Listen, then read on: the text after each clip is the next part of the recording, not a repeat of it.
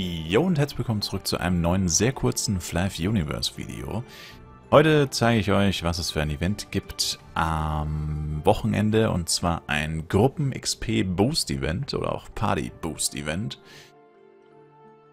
Die gesamte Party bekommt 30% mehr XP, aber damit sind nicht die Spieler in der Party gemeint, sondern wirklich die Party, also die Party XP ist um 30% erhöht. Also es geht schneller eine Party auf Level 10 zu ziehen, es geht schneller eine Party auf Level 40 zu ziehen.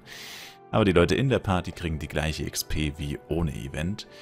Und das war's. Das war das Wochenende-Event. Also nicht so spannend. Aber es gibt noch eine spannende Info, die auf jeden Fall wichtig ist, die ich euch auf jeden Fall noch mit auf den Weg geben will. Danke an Atom, der das Ganze gescreenshottet hat. Und zwar hat jemand gefragt, ob der Battle Pass automatisch resettet oder ob man eine gewisse Downtime hat, bis die neue Battle Pass Season beginnt.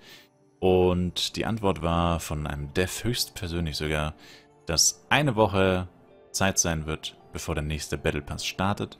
Das heißt, ähm, das wurde jetzt quasi am Donnerstag gepostet.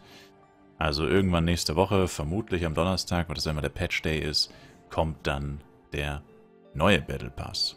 Also nur eine Woche warten, dann kommt direkt der neue und man kann wieder Geld ausgeben. Kappa.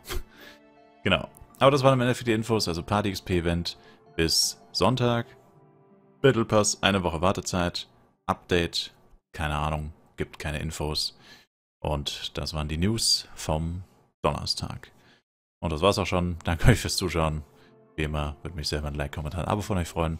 Und wir sehen uns im nächsten Flash Universe Video wieder. Bis dahin, haut rein und ciao, ciao.